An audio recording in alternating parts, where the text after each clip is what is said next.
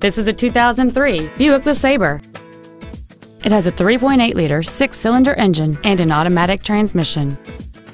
All of the following features are included. An air suspension, aluminum wheels, cruise control, a CD player, a passenger side vanity mirror, an anti-lock braking system, a passenger side airbag, rear seat child-proof door locks, a power driver's seat, and this vehicle has fewer than 67,000 miles on the odometer. Stop by today and test drive this automobile for yourself.